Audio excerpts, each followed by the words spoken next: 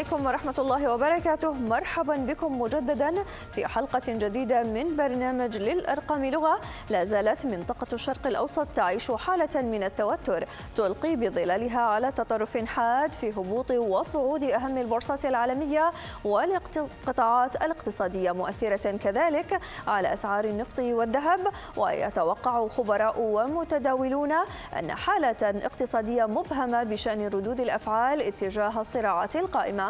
هذا وانتهت قمة بريكس المنعقدة في روسيا خلال الأسبوع الماضي محملة بملفات اقتصادية ذات ثقل على الاقتصاد العالمي. ابقوا معنا في التفاصيل.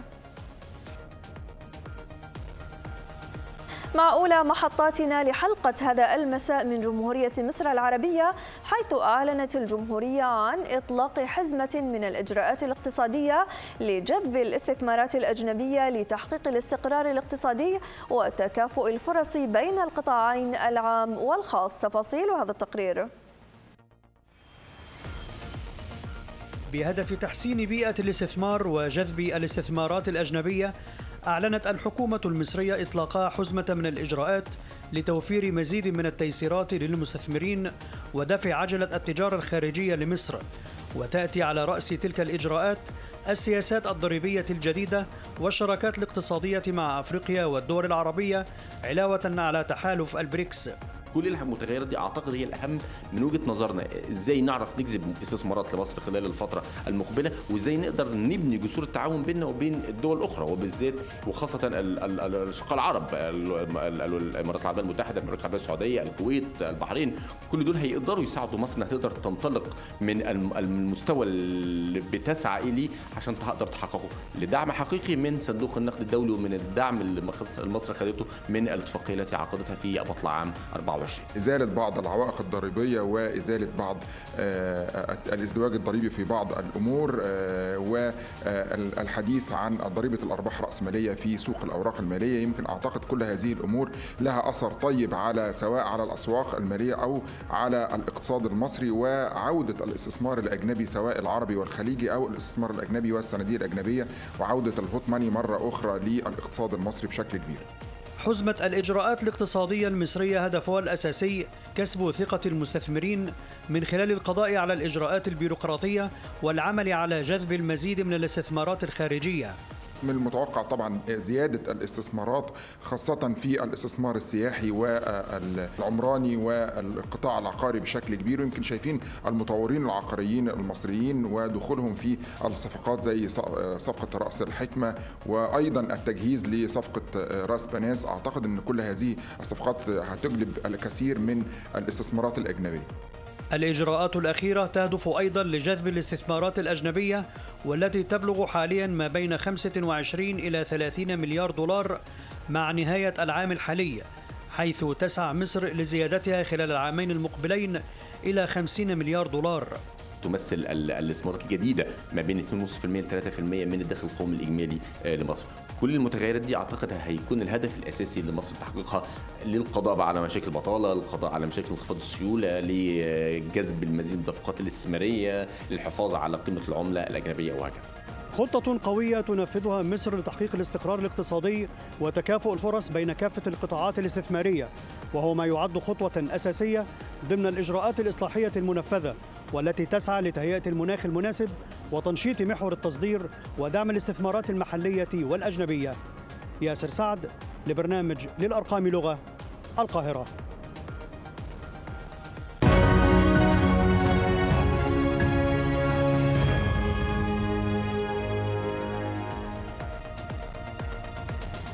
شهدت المؤشرات الرئيسية لبورصة وول ستريت أسبوعا متقلبا في الأداء فيما ساهمت التقارير المالية للشركات الأمريكية وعوائد سندات الخزانة بالحد من خسائر المؤشرات الثلاث.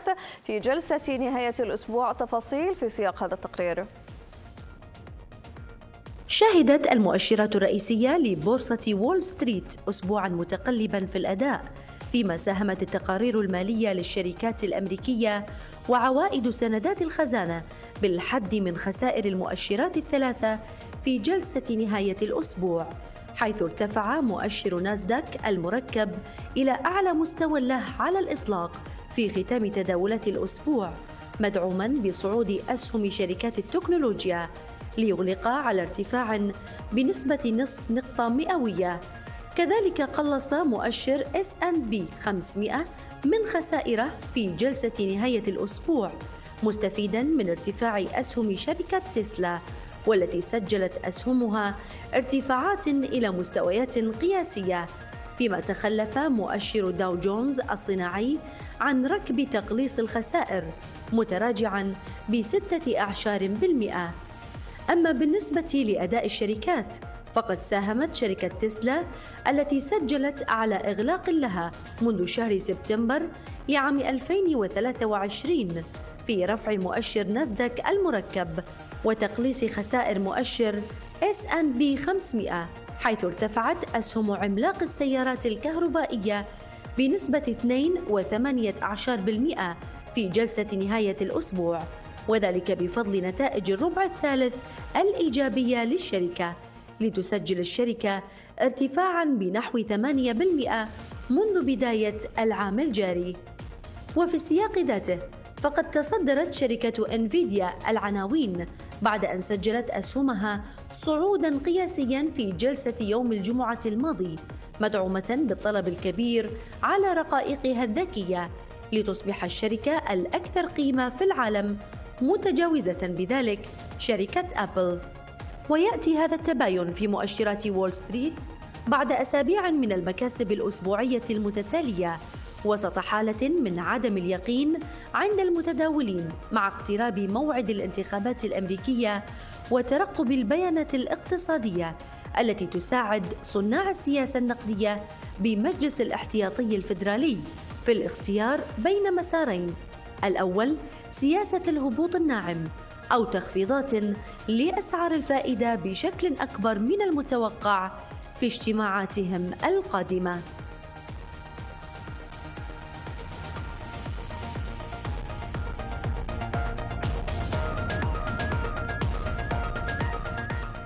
الآن ومع المؤشرات الأمريكية. فمؤشر داو جونز الصناعي أغلق عند مستوى 42114 ألف نقطة بانخفاض قدره نقطتين ونصف بالمئة.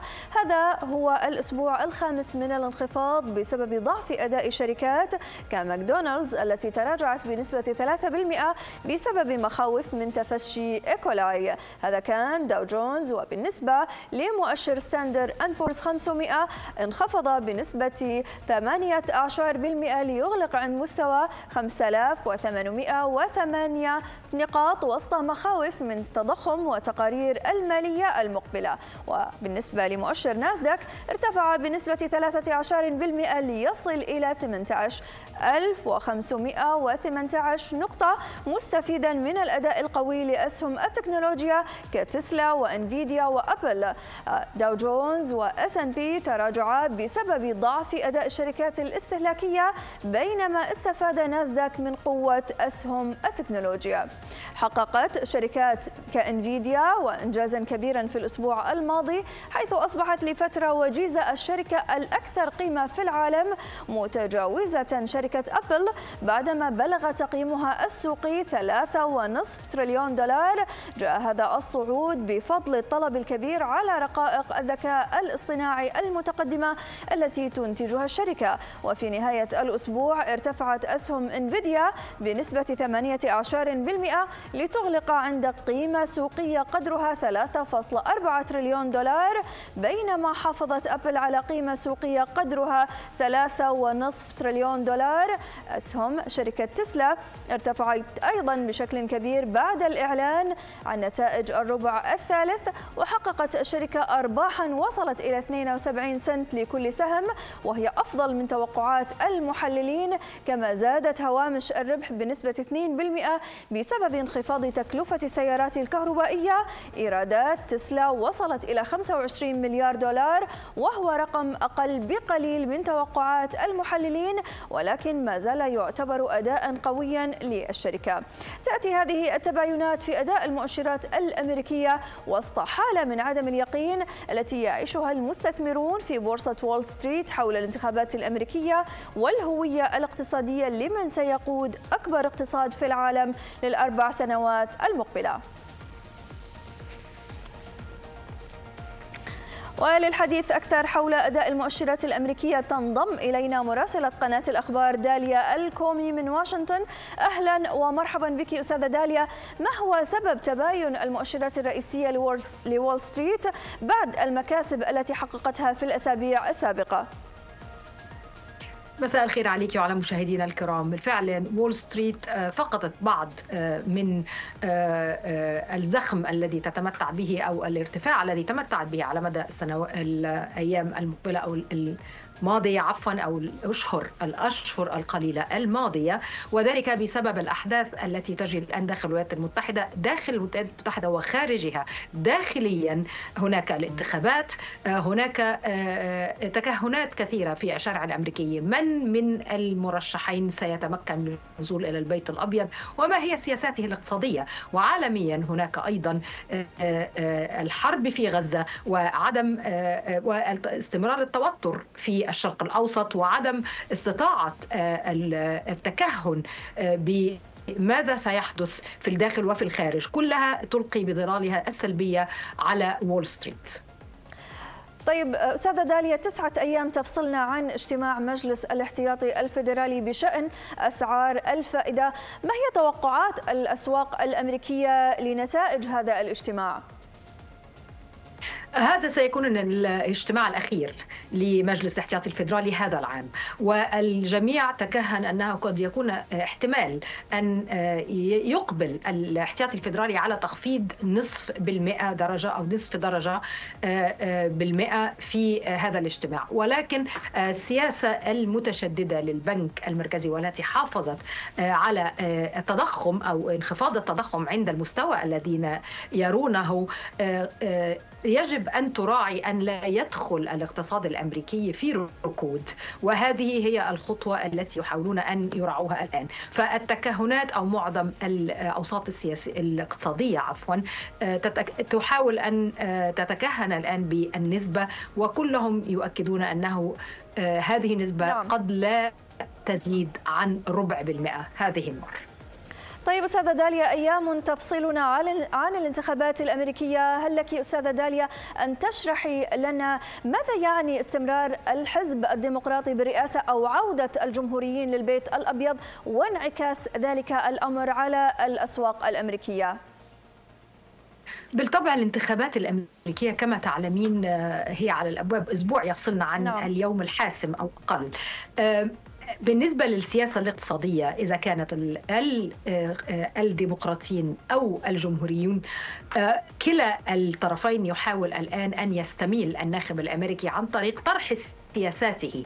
إذا أتى الجمهوريون إلى الحكم دائما ما آه، يفرضوا ضرائب باهظة ويثقلوا كاهل الطبقة المتوسطة الأمريكية. بعكس الديمقراطيين الذين يحاولون أن يوجهوا سياساتهم الاقتصادية لأن تتوازن مع الطبقة الكادحة العاملة أو الطبقة المتوسطة داخل الولايات المتحدة. ولكن الوعود الانتخابية التي نمر بها حاليا هي كلها آه، لا تستطيع أن تشير إلى السياسة الاقتصادية التي ستنتهج في حالة مغادرة الديمقراطيين وعودة الجمهوريين وهذا ما تتحدث عنه الأوساط الاقتصادية الآن في العاصمة الأمريكية أن نعم. يجب أن يعي الناخب الأمريكي أن كل آه، الوعود الانتخابية الآن آه، في استطاعتها أن لا تصب في مصلحة الناخب الأمريكي سواء كان ديمقراطي أو جمهوري وتختلف نعم. سياسات الجمهوريين والديمقراطيين كليا آه، في ناحية الاقتصاد طيب أستاذة داليا هل سيستمر الزخم الشرائي على أسهم التكنولوجيا؟ ما هي الصورة المرتقبة للسوق؟ بالفعل أسهم التكنولوجيا من آه، الأسهم التي يثق فيها آه، من يستثمر امواله داخل الولايات المتحدة الأمريكية. وذلك بسبب ظهور جديد كل يوم وهم يتوقعون أن تحتفظ هذه السوق أو هذه الشريحة من السوق بما تتمتع به من ارتفاع أو من تقدم. ولكن يجب أن نضع في الحساب أن بعض آه، السياسات التي تفرض على هذه الشركات قد تعطل من آه، تقدم هذه الشركات وبالفعل تؤثر سلبيا على أسهمها. فيجب أن آه، يعي المستثمر الأمريكي أن بالرغم من أن قطاع التكنولوجيا جاذب للاستثمار وهو ما حقق مكاسب للعديد من المستثمرين إلى الآن ولكن بعض القيود التي تفرض على هذه الشركات أو على هذه التكنولوجيا وما يطرح من جديد ما يطرح من جديد يوميا في الأسواق قد يتأثر سلبيا ليس فقط بالقيود نعم. التي تفرض ولكن أيضا بنتائج الانتخابات فقد نرى أن أحد المرشحين إذا وصل وأصبح الرئيس داخل البيت الأبيض قد يكون له ميول إذا كانت إيجابية أو سلبية نعم. على بعض القيود التي تفرض على هذه الشركات. إذا مراسلتنا مراسلة قناة الأخبار داليا الكومي من واشنطن شكرا جزيلا لك. أداء سلبي شهدته معظم المؤشرات الأوروبية وسط تواضع أرباح الشركات الأوروبية الكبرى وتراجع أسهم السيارات والسلع المنزلية تفاصيل هذا التقرير موجة من التراجع والأداء السلبي شهدتها المؤشرات الرئيسية للبورصات الأوروبية بعد دخول أسهم العديد من القطاعات في المنطقة الحمراء وهو ما قاد إلى سلسلة من الخسائر بالجلسة الختامية الجمعة وفي متوسط الأداء الأسبوعي بسبب التباين في أرباح الشركات الكبرى وتراجع أسهم السيارات وشركات السلع المنزلية. مؤشر ستوكس الأوروبي وعلى الرغم من خسائره المحدودة للغاية بالجلسة الختامية الجمعة والتي شهدت تراجعه بثلاثة من مئة في الماء إلا أن الأداء السلبي له طوال جلسات هذا الأسبوع قاده لأول خسارة منذ ثلاثة أسابيع بواحد في المئة تراجع بعد دخول العديد من القطاعات في المنطقة الحمراء. مؤشر كاك الفرنسي كان الأكثر عرضة للضغوط وتباين في الأداء فعلى الرغم من تحسنه مع الساعة الحادية عشرة صباحا وارتفاعه لأعلى مستوى بسبع نقاط مقارنة بجرس الافتتاح إلا أنه تراجع مع جرس الإغلاق بسبعة من عشرة في المئة وبأكثر من واحد في المئة في متوسط الأداء الأسبوعي. هذا الأسبوع ساده موجة من الحذر والخوف لدى المستثمرين خصوصا في ظل قرب موعد الانتخابات الأمريكية وكذلك إعلان بعض الشركات عن نتائج الأرباح والتشغيل. خصوصا وأن بعضها كان محبطا وعلى سبيل المثال أرباح شركات السيارات. وما أدى إلى تراجع أسهم شركة مرسيدس والتي تراجعت بواحد في المئة. وتراجعت أيضا مبيعات فولفو وكذلك تراجعت قطاعات المنتجات الكهربائية المنزلية بسبب ضعف المنافسة بين هذه القطاعات مع المنتجات الصينية. كما أن البورصة الفرنسية شهدت ضغوطا غير مسبوقة مع تدهور سوق السندات وكذلك المخاوف من حالة عدم اليقين. حول ما إذا كانت مؤسسة مودي ستبقي على تصفيتها الاقتصاد الفرنسي أم سيكون هناك تغير؟ مؤشر داكس الألماني وعلى الرغم من بقائه في المنطقة الخضراء في الجلسة الختامية الجمعة بعشرين نقطة ارتفاع مع جرس الختام وهو ما يعادل واحد من عشرة في المئة إلا أنه تراجع في متوسط الأداء الأسبوعي بأربعة وسبعين من مئة في المئة. فيما واصل مؤشر فوتسيما مسيرة التراجع في متوسط الأداء الأسبوعي بواحد فاصل ثلاثة من عشرة في المئة وسط مخاوف من تراجع معدلات النمو الاقتصادي الخاصة بالاقتصاد الاقتصاد الألماني والتحديات التي تواجه الاقتصاد البريطاني بحسب تقرير صندوق النقد الدولي. العديد من الدول تواجه تراجع في الاقتصاد الصناعي والذي بدا واضحا في ألمانيا وهو ما أثر على معدلات النمو كما تراجع القطاع الخدمات وكما أثر على قطاع السياحة في إسبانيا. وبالنسبة للمملكة المتحدة فهناك تراجع في معدل التضخم في البيانات لكن هناك مخاطر لا يمكن التنبؤ بها. فعلينا انتظار ميزانية الحكومة الجديدة وعما سيقوم به صانعو السياسات المالية لدعم الاقتصاد. حالة من الترقب والانتظار لخفض سعر الفائدة والإعلان عن أرباح الشركات والمؤسسات الكبرى تسيطر على جلسات هذا الأسبوع وهو ما قاد بعض المؤشرات الرئيسية للبورصات الأوروبية لخسائر في متوسط الأداء الأسبوعي. جمال شاهين برنامج للأرقام لغة من أمام بورصة لندن. ولآخر أرقام البورصات الأوروبية معنا الآن يوروستوك 50 انخفض بنسبة 70 17% ليصل إلى مستوى 4943 نقطة بسبب مخاوف المستثمرين من التضخم والبيانات الاقتصادية المقبلة مما قد يدفع لرفع أسعار الفائدة في أوروبا بسبب ارتفاع تكاليف الطاقة والسلع أثر على الشركات الصناعية. وبالنسبة لمؤشر داكس الألماني تراجع بنسبة 17% ليصل إلى 19463 نقطة متأثرا بضعف الصادرات وتراجع الإنتاج الصناعي وزيادة المخاوف حول النمو الاقتصادي. لفوتسي 100 في بريطانيا. انخفض بنسبة 1.3% ليغلق عند مستوى 8248 نقطة مع تزايد القلق من التضخم ورفع الفائدة وضعف أداء قطاعي الطاقة والمالية. ونذهب الآن إلى فرنسا حيث الكاك الفرنسي تراجع بنسبة 1% ليصل إلى مستوى 7497 نقطة متأثرا بالمخاوف من التضخم وتباطؤ النمو الاقتصادي في فرنسا. وفي الاتحاد الأوروبي بشكل عام. شهدت الأسواق الأوروبية انخفاضات متتالية نتيجة التضخم والتوقعات بارتفاع أسعار الفائدة مما زاد من قلق المستثمرين حول الأداء الاقتصادي المستقبلي. ولتفاصيل أكثر خاصة بالأسواق الأوروبية ينضم إلينا من لندن مراسل قناة الأخبار جمال شاهين. أهلا ومرحبا بك أستاذ جمال. شهدت أسواق الأسهم الأوروبية أسبوعا سلبيا لتتخلى عن المكاسب التي حققتها في الأسابيع الماضية. برأيك أستاذ جمال ما سبب هذه التراجعات؟ أسباب هذه مساء الخير عليكم جميعا. أسباب هذه التراجعات معروفة. هناك حالة من القلق حول معدلات سعر الفائدة وكذلك قرب الإعلان عن ما قد نسميه انتهاء أزمة صناعة السيارات والتوصل لاتفاق بين كل المنصين والاتحاد الأوروبي حول صناعة السيارات الكهربائية التي قد تفرض من خلالها الاتحاد الأوروبي ما يقرب من 35% جمارك وضرائب على الواردات صناعة السيارات من الصين وكذلك تراجع من مجموعات شركه الكتروستار وهي مجموعة متخصصة في إنتاج المواد المنزلية الكهربائيه الكهربائية. لكن هنا يجب أن نلاحظ أن الصين بإمكانها أن تنافس بشكل كبير.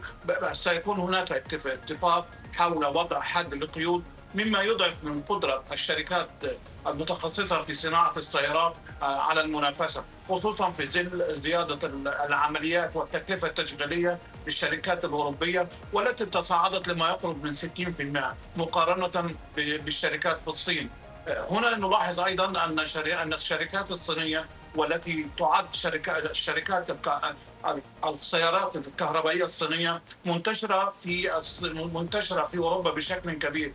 يكفي أن نؤكد أن ما يقرب من 17% من صادرات الصين من صادرات الصين من من من السيارات الكهربائية تكون إلى تكون إلى إلى دول الاتحاد الأوروبي. إذا الصين تنتج ما يقرب من 9 ملايين وحدة سيارة كهربائية. 60% منها يكون الاستهلاك المحلي. نعم. إذا نظرنا إلى الصادرات منها وإلى الولايات المتحدة والاتحاد الأوروبي هو يزيد عن 25% القدرات قدرات الشركات السيارات على المنافسة مع الشركات الصينية تبدو محدودة للغاية طيب أستاذ جمال يعني يعني في الأسبوع المقبل سنشهد الانتخابات الأمريكية، كيف سيؤثر فوز ترامب تحديدا على بالانتخابات الأمريكية على الأسواق الأوروبية؟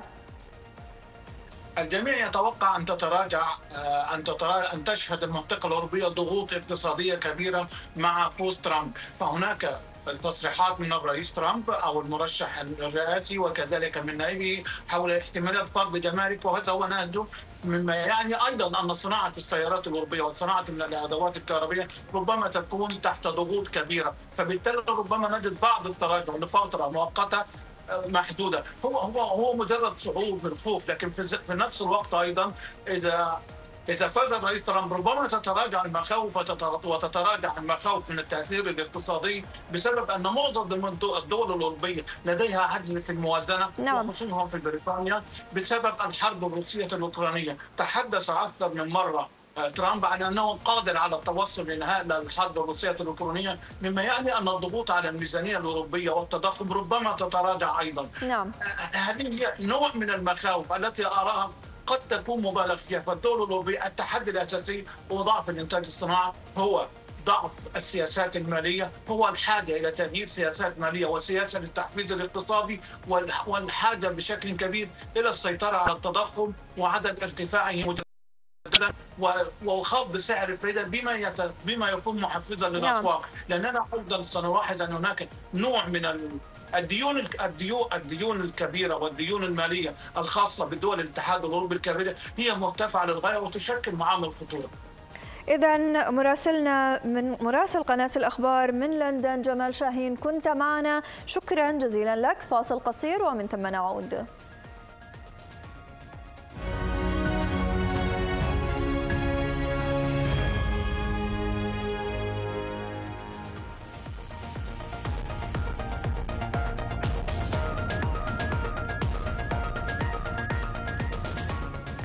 وفي أولى أهم الأخبار بقطاع الطاقة تشير التوقعات بانخفاض واردات الصين من الفحم بنسبة 4% وسط وفرة بالمخزون وتباطؤ الاقتصاد حيث شرعت شركات الاستيراد في تقليص حجم شحنتها بعد خسائر تجارية خلال هذا العام خاصة من الفحم الحراري المستخدم بمحطات توليد الكهرباء واستقرت أسعار الفحم دون تغيير عند مستوى 850 يوانا أي ما يقارب 120 دولارا وتبقى هذه الأسعار مرهونة بعامل الطقس إذ أن فصل الشتاء قد يؤدي إلى رفع الأسعار لأعلى من هذه المستويات هذا وتعتبر الصين مهيمنة على 96% من منشآت توليد الطاقة بالفحم عالمياً. وفي النفط حققت الأسعار ارتفاعا أسبوعيا خلال الأسبوع الماضي وسط ترقب المتداولين آخر التطورات في الشرق الأوسط وهذا التقرير. بعد انخفاض ليومين سجلت أسعار النفط ارتفاعها بنسبة 4% مع وضع الحالة في الشرق الأوسط في عين الاعتبار وصعد سعر خام غرب تكساس الوسيط بنسبة 2.3% لتتم تسويته أكثر من 71 دولار للبرميل متخطيا متوسط الأسعار لمدة 50 يوما. في حين سجل سعر تسوية مزيج برنت نحو 76 دولارا للبرميل. وشهدت الأسعار تذبذبا خلال الأسبوع الماضي إذ ارتفعت في بداية الأسبوع قبل أن تتراجع في يومي الأربعاء والخميس. وذلك بسبب توقعات ارتفاع أو انحسار المخاطر في الشرق الأوسط. وعلى الصعيد الشهري كان الخام الأمريكي يتحرك في نطاق يتخطى ثلاثة دولارات وخمس سنتات بسبب التوترات الجيوسياسية والمخاوف من مواجهة السوق لفائض في المعروض العام المقبل مع نمو الإنتاج من الدول غير الأعضاء في تحالف أوبك بلس وخطط التحالف لتخفيف قيود الإنتاج. على إثر هذه الحالة غير المستقرة يحتفظ تجار النفط بعدد قياسي من عقود الخيارات للتحوط من ارتفاع الأسعار المحتمل في حال تعطل الإمداد في الشرق الأوسط. وتجاوزت عقود خيارات برنت خلال الأسبوع المنصرم أربعة ملايين عقد وهو ما يعادل أربعة مليارات برميل لأول مرة في تاريخه. وارتفع العدد الإجمالي للعقود التي يحتفظ بها التجار بأكثر من 25% حتى الآن خلال هذا الشهر. ويشير هذا الارتفاع في النشاط إلى تحوط التجار ضد المخاطر المتزايدة لحدوث اضطرابات في منطقة تمثل حوالي ثلث إمدادات النفط العالمية فيما لا تزال التوقعات للسوق حتى عام 2025 متشائمة. بينما يتوقع المتداولون حاليا وجود تهديد طويل الأمد كما أن ذلك ينعكس على الأسواق بشكل مباشر. ومن جانبها حذرت وكالة الطاقة الدولية من استمرار تراجع نمو الطلب العالمي بسبب تباطؤ الاقتصاد الصيني. ومن منح الأسعار أبقى بنك جولدمان ساكس على توقعاته لسعر النفط دون تغيير عند مستوى يتراوح ما بين 70 و 85 دولارا لبرميل خام برنت في عام 2025 وتوقع البنك أن يكون تأثير أي تحفيز في الصين متواضعا مقارنة بعوامل أكبر مثل إمدادات النفط من الشرق الأوسط.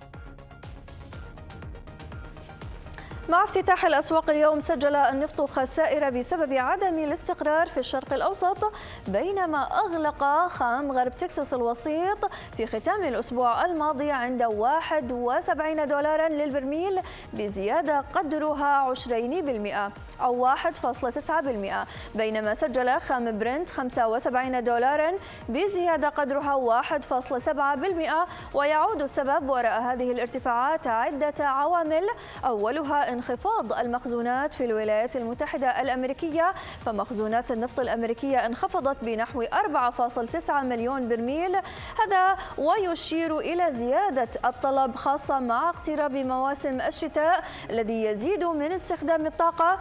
ثانيا في ارتفاع الطلب مع من آسيا فالنمو الصناعي في الصين والهند ساعد في زيادة الطلب على النفط. وهاتان الدولتان من أكبر المستوردين للنفط وزيادة نشاطهما الاقتصادي أدى إلى ارتفاع الأسعار. وثالثا التوترات في الشرق الأوسط والأوضاع الجيوسياسية غير المستقرة في المنطقة زادت المخاوف بشأن استقرار إمدادات النفط مما أثر على الأسعار. وتحسن الاقتصاد الأمريكي والبيانات الاقتصادية الإيجابية من الولايات المتحدة تشير إلى انتعاش الاقتصاد وهذا يعزز الطلب على النفط في الأسواق العالمية.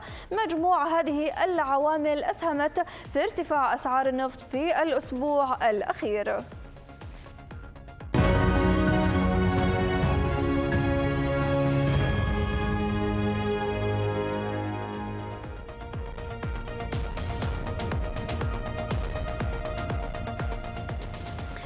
الخمس سنوات الماضية شهدت بيانات زيادة في استهلاك النحاس في قطاع المركبات الكهربائية والطاقات المتجددة مثل الشمسية والرياح والتي قد تصل إلى أكثر من 3 مليون طن وقد يشكل 26% من إجمالي الطلب المحلي الصيني على المعدن.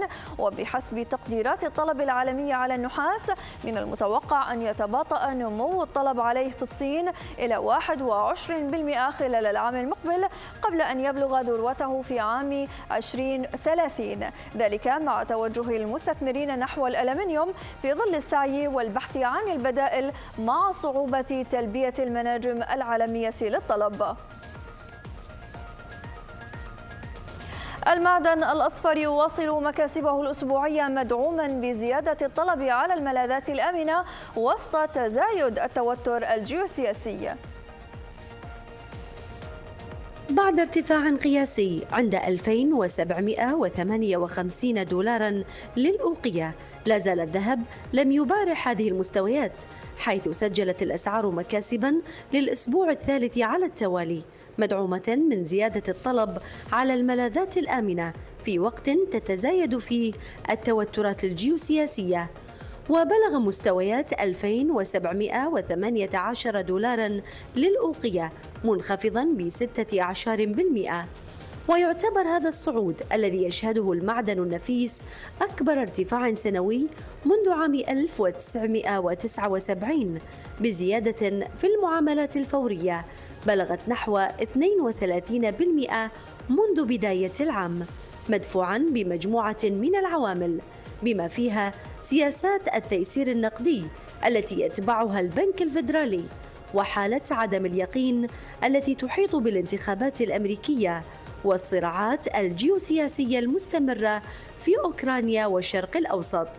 ويرجع هذا الصعود السريع خلال العام الجاري إلى تقلبات محتملة في المستقبل لكن التوقعات لا تزال إيجابية مع توقعات استمرار النمو كما تعتبر انخفاض أسعار الفائدة محركا رئيسيا لرحلة الارتفاع ووفقا لما ذكره مجلس الذهب العالمي وبلغت نسبة الارتفاع 10% في الأشهر الستة التي أعقبت أول خفض لسعر الفائدة الفيدرالي.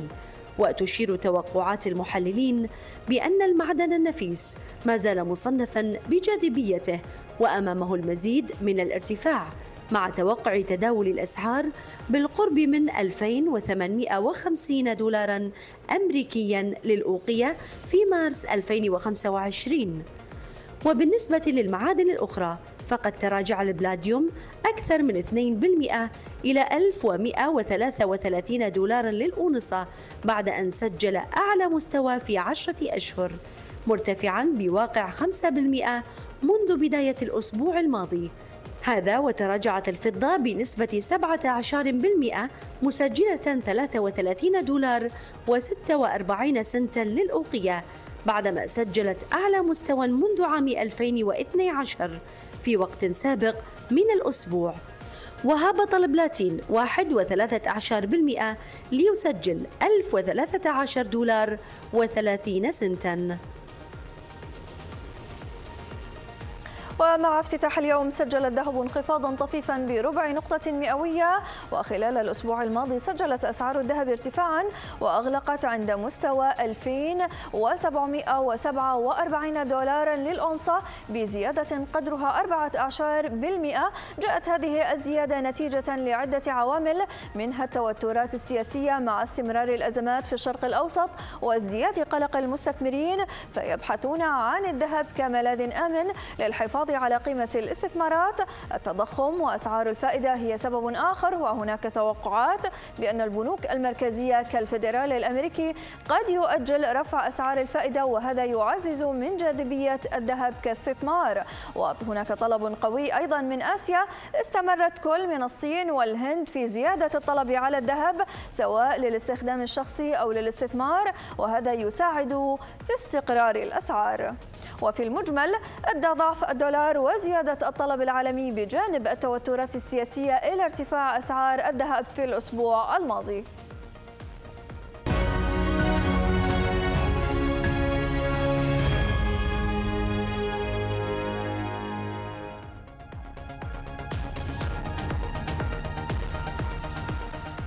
حذرت مدير صندوق النقد الدولي كريستالينا غورغيفا من تهديد مسار النمو المتراجع والديون المرتفعة إذ أنها تؤدي لتوافر موارد أقل للحكومات من أجل تحسين الفرص لشعوبها ومواجهة التحديات الأخرى كتغير المناخ مؤكدة أن هذا نتيجة لما ستتمثل من تصاعد حالة عدم الرضا من الشعوب مؤكدة أن هذا لا يقتصر على أمريكا فقط رغم إظهار الاقتصاد العالمي بعض المتانة في مواجهة مواجهة تداعيات الصراعات الجيوسياسية وتراجع الطلب الصيني والأثار المتأخرة لتشديد السياسة النقدية. وفي السياق أظهرت التوقعات الجديدة لصندوق النقد الدولي أن نمو الاقتصاد العالمي سيتراجع قليلا في العام 2029 إلى 1 إلى 3.1% مقابل 3.2% في 2024 وهو ما يعد أقل أيضا من المتوسط المسجل في الفترة من 2000 لغاية 2019 عند 3.8%. وفيما يلي نتابع التقرير عن آخر إغلاقات الدولار الذي سجل ارتفاعاته مدعوما بالبيانات الاقتصادية الإيجابية للأسبوع الرابع على التوالي. حقق الدولار مكاسبه مدعوما بتوقعات متعلقة بأسعار الفائدة في الولايات المتحدة الأمريكية بالإضافة لسلسلة من البيانات الاقتصادية الإيجابية المساهمة في توقعات بشأن تخفيض الفائدة من قبل الفيدرالي مما ساعد في رفع عوائد سندات الخزانة الأمريكية أيضاً. كما استفاد الدولار من زيادة ارتفاع توقعات السوق بفوز المرشح الجمهوري والرئيس الأمريكي السابق دونالد ترامب في الانتخابات الرئاسية حيث سيؤدي فوزه إلى سياسات ترفع التضخم مثل الرسوم الجمركية. في المقابل انخفض مؤشر الدولار مقابل سلة من العملات الرئيسية والثانوية بنسبة ضئيلة ليستقر عند 104 نقاط وثلاثة أجزاء النقطة بينما استقر اليورو عند نحو دولار متجاوزا أدنى مستوى له في أكثر من ثلاثة أشهر. في حين سجل الجنيه الاسترليني ارتفاعه بنسبة عشر بالمئة ليصل إلى دولار وسنتين بينما يتجه إلى انخفاض أسبوعي يبلغ 15% لكن الين بعد بيانات التضخم هبط نحو 5.13% خلال الشهر ليسجل أسوأ انخفاض شهري منذ إبريل لعام 2022 من جهة أخرى أعلن بنك جولدمان ساكس عن توقعات تشير إلى انخفاض اليورو في حال فوز المرشح دونالد ترامب وتم تطبيق الرسوم الجمركية واسعة النطاق ضمن خططه الاقتصادية.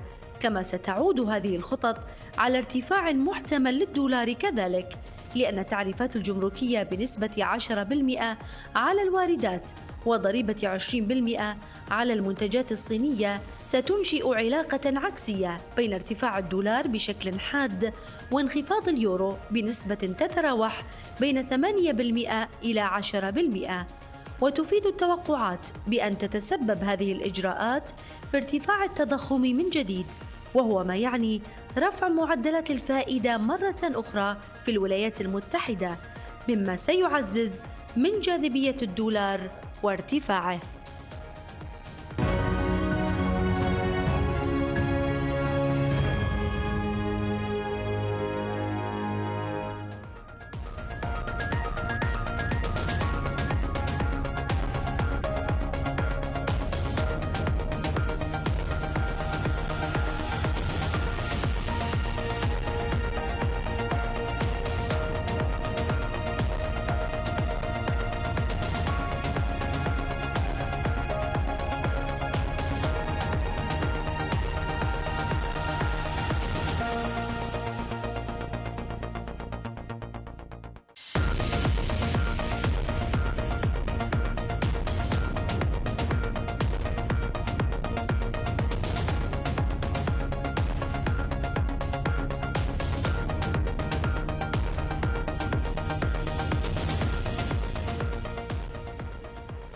تعتبر مجموعة بريكس ذات وزن اقتصادي لما تتمتع به من موارد حيث بلغت حصة المجموعة 37% من إجمالي الناتج العالمي بينما بلغت حصة مجموعة السبع 29% من إجمالي الناتج المحلي وتمثل هذه المجموعة الآن 45% من سكان العالم و35% من الاقتصاد.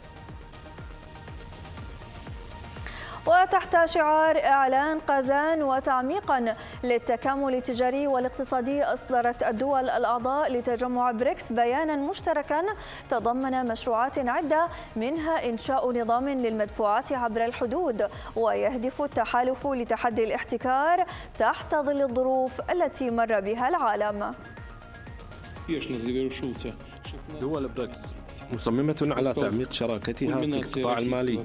سنواصل تعزيز الاتصالات بين البنوك وإنشاء آليات للتسويات المتبادلة بالعملات الوطنية المستقلة. عن المخاطر الخارجية.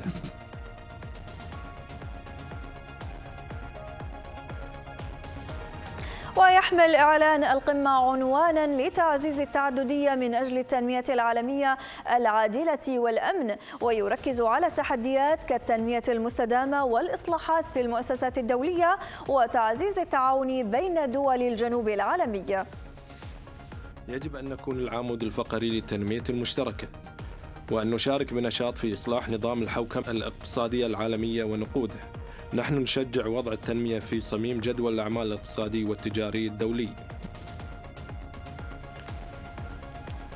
وتحدد المجموعة أولوياتها وتجري مناقشات خلال قمتها السنوية التي يتناوب الأعضاء على استضافتها كما نظمت أكثر من 200 حدث سياسي واقتصادي واجتماعي لتعزيز سبل تنفيذ المزيد من التعاون في الاقتصاد والتمويل والتبادلات الإنسانية والثقافية. حان الوقت للتقدم في إنشاء وسيلة دفع بديلة للمعاملات بين بلداننا. لا يتعلق الأمر باستبدال عملاتنا ولكن يجب أن نعمل على ضمان أن ينعكس النظام متعدد الأقطاب الذي نسعى إليه في النظام المالي الدولي.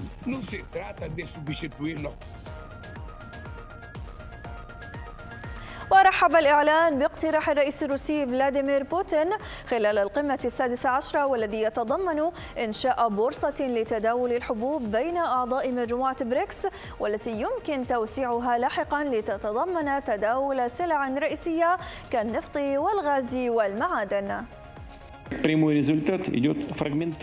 أن دول البريكس من بين أكبر منتجي الحبوب والبقوليات والبذور الزيتية في العالم. وفي هذا الصدد اقترحنا فتح بورصة حبوب البريكس. سيساهم هذا المقترح في تشكيل مؤشرات أسعار عادلة وقابلة للتنبؤ لأسعار المنتجات والمواد الخام وستلعب دورا مهما في ضمان الأمن الغذائي في العالم.